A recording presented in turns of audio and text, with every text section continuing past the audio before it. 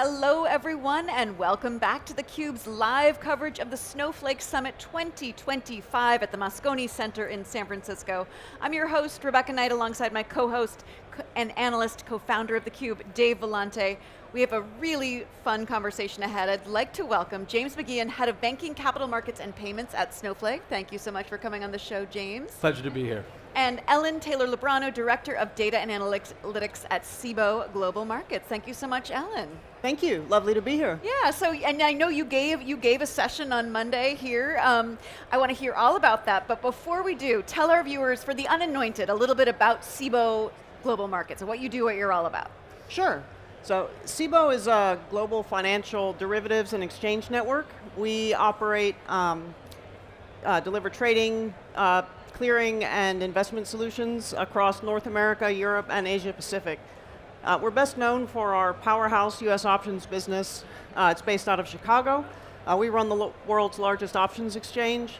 Um, and then we also own related uh, index products like the Cboe VIX. It's often referred to in financial media as Wall Street's fear gauge. Yeah, yeah. So the world's largest uh, options exchange, that's, that's a, a large amount of data that you are dealing with on a daily basis. Talk a little bit yeah. about your data challenges. Oh, absolutely. To, to give you a sense of that, so on any given trading day, all of our platforms, our, our trading systems together, will be processing hundreds of billions of messages through those systems. And um, yeah, it's, it is a lot of data. So, I'm just looking it up now. I first talked to, it was then CBOE in 2010. And I, I, just looked up the gentleman's name, I couldn't remember him, but he was like an infrastructure, kind of database, data warehouse guy. And I'll never forget it, and I just wrote it down. He was educating me on the challenges of managing all this data, and he said, can't, we can't keep up. It's like a snake swallowing a basketball every time something changes. And the other thing he said that uh, resonated with me is, we are just chasing the chips. Every time Intel comes out with a new chip, we glom onto it because it just helps us you know, catch up a little bit. And then it's again that whole snake swallowing a basketball again. So that was this endless cycle that they, there was no way out of it at the time. A lot's changed since 2010. Uh, um, a lot has changed. So what's the world look like today? How do you keep up? Um, I mean, for starters, our, our trading systems are, are on-prem. They're going to continue to be on-prem for the foreseeable future. Uh, we just, our extremely low latency, high throughput requirements uh, pretty much demand that. But um, in terms of our downstream analytics, uh, I mean, that's where cloud solutions and especially Snowflake has made a huge difference. Um, I mean, so we process data with uh, timestamps now down to nanosecond precision. So, and, and we need to have both that breadth and that depth. We, we want to be able to get that overview, but then when we need to, we need a platform that supports that granularity to really just dive in there and get those targeted results. Okay, so you, you um, you're probably still chasing chips. Faster is always, always better. Storage is cheaper now than, than, than it used to be. Um, but in thinking about the analytics platform, can you take us through your Snowflake journey? I mean, you, uh, you gave a talk about this uh, Absolutely. Uh, earlier this week. Uh, would love to hear that, that story, the condensed version. Sure.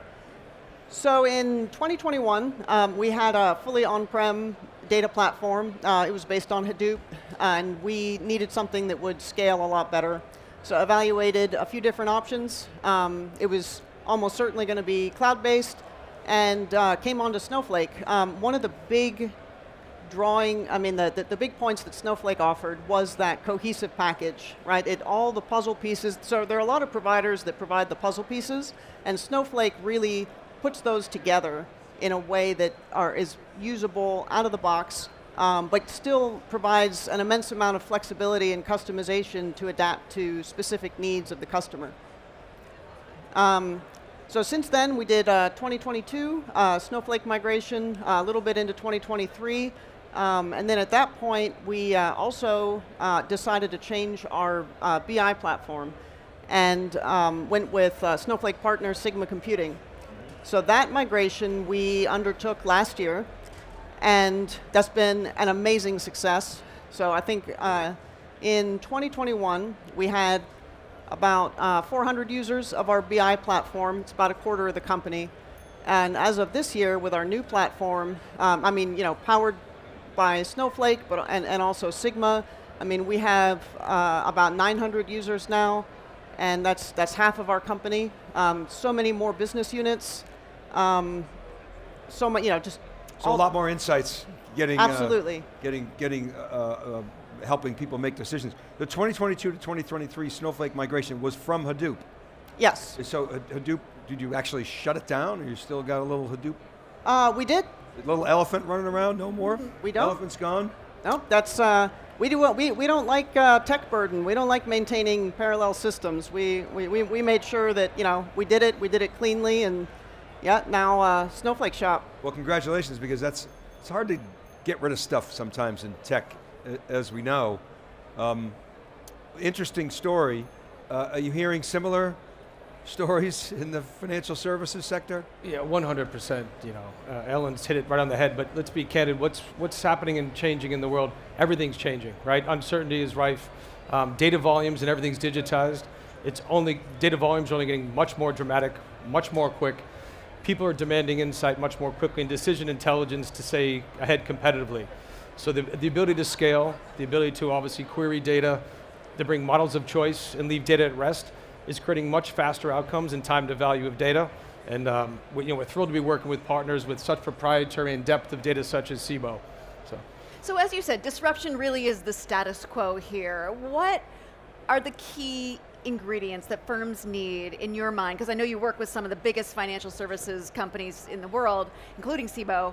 What, are they, what needs to be true in, in order for them to get the most out of AI? Sure. So it starts with a data foundation, and everyone has to start to modernize their technology, really to commercialize, and in some cases even monetize it. So if you think about AI, it all starts with a great data foundation. So it's that foundational work to bring the best of breed of your data together, organize it to a unified data model. Really then it's about activation of that data, right? So it's helping your team to understand what, what are the right questions to ask of it, to think of the outcome you're looking to get to, and then work backwards. And the foundational pieces that we see from our customers is really about um, you know, how do we do this utilizing AI, not just to come up with to use AI, but it's really come up with an, a trusted, accurate outcome at low cost. It's about efficiency and productivity. So you, you said before, uh, James, everything's changing, it's changing fast. Uh, it reminds me of something Jeff Bezos always says. He goes, everybody's always asking me what's changing. I like to think of what's not changing. So Ellen, what's not changing in your world? I presume you want to go faster. You mentioned low latency before. I assume you want to continuously be more cost effective, but what are those sort of fundamental things that don't change that you need to continuously improve?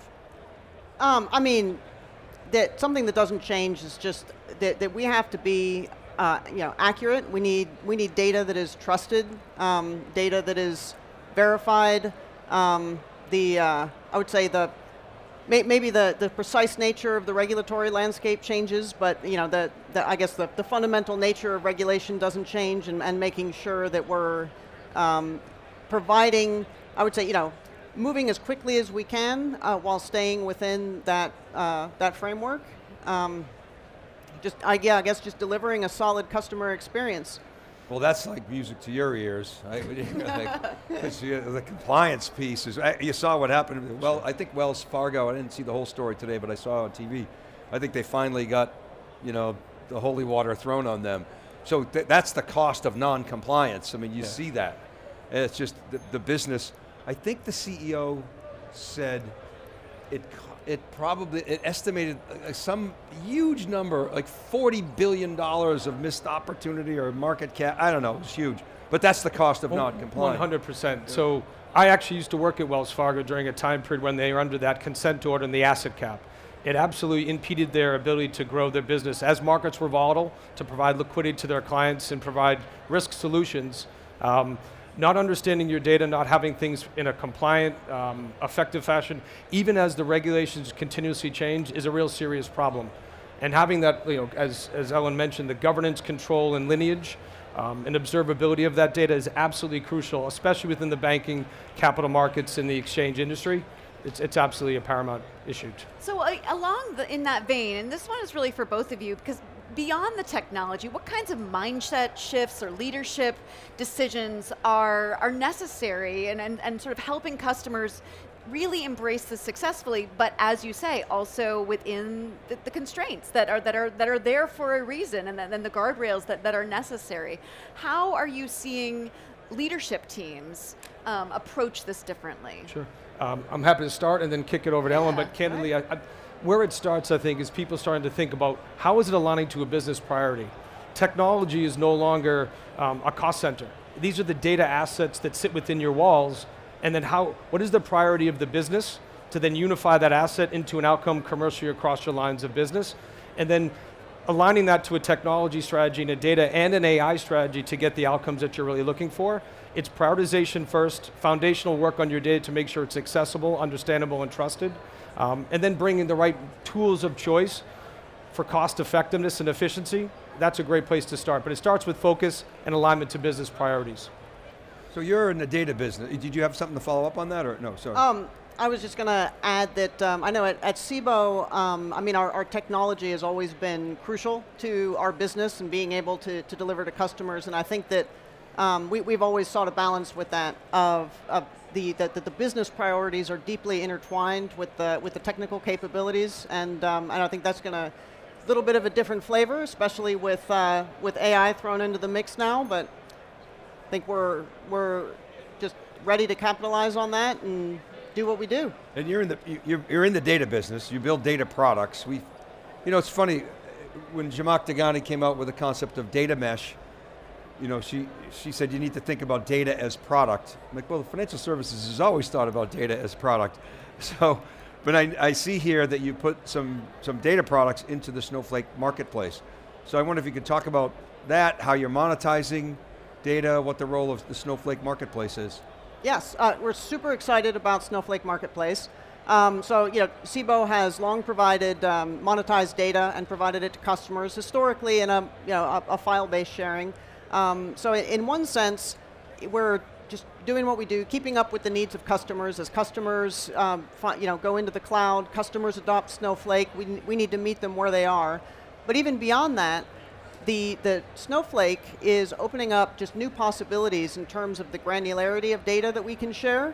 Um, I mean, you know, you, you can share that via a file-based system, but it's not really usable. And when it's shared via Snowflake Marketplace, it's just, it's there, it's ready to use. Customers don't have to set anything up to connect. It's, it's, it's ready to use, all with that, you know, built-in scalability that's, um, that Snowflake provides.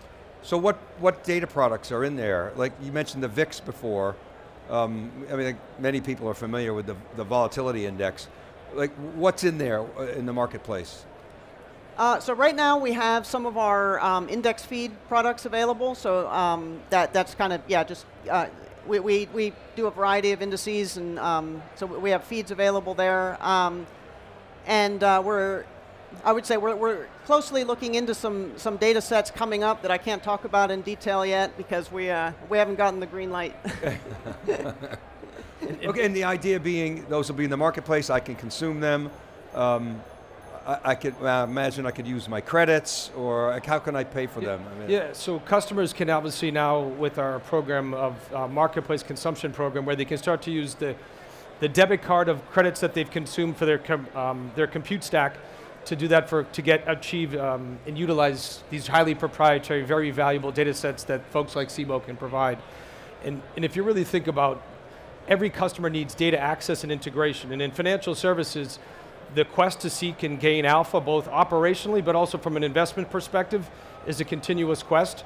Um, that has been part of our strategy to bring the best of breed providers like Cboe into that marketplace, to then have some of the world's largest asset owners, sovereign wealth funds, uh, hedge funds, and asset managers, the data hungry people that are really trying to create investment alpha, which then gets them out return, which then gets them greater assets under management and revenue streams is all predicated upon the high quality of data we can bring into that ecosystem, which has easily accessible onto the platform, which then hopefully gives them that faster time to value to that alpha outcome that they're really looking for. So the go-to-market is you're in the Snowflake marketplace, um, and that Snowflake marketplace is within another marketplace, is it not? I mean, it can go directly. Correct me if I'm wrong, but you live in the AWS marketplace and other cloud service providers marketplaces, cor- correct? So we have over time, and I think when I, I used to work at AWS, and they had a product on a platform called Data Exchange, which was their Sure. platform. Yeah, so yeah. people could procure data there.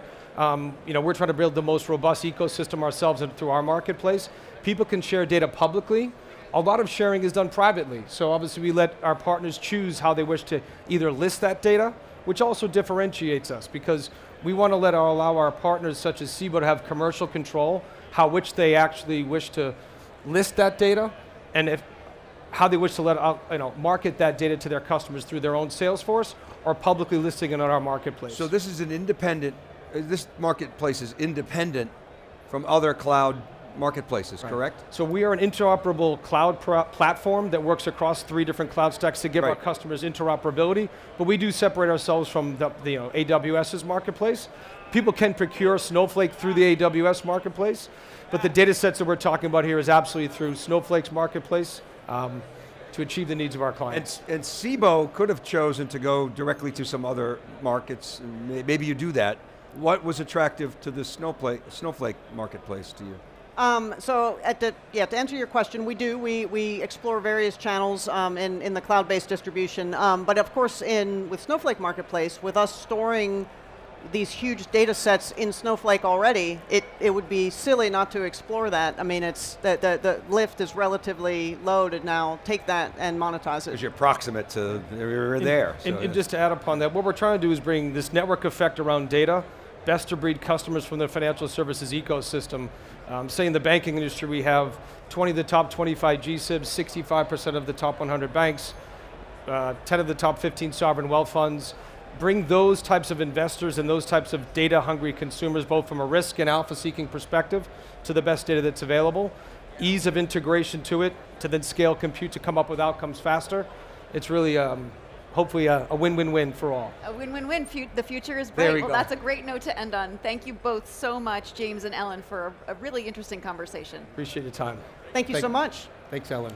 Thanks, Jimmy. I'm Rebecca Knight for Dave Vellante. Stay tuned for more of theCUBE's live coverage of the Snowflake Summit. You're watching theCUBE, the leader in enterprise tech news and analysis.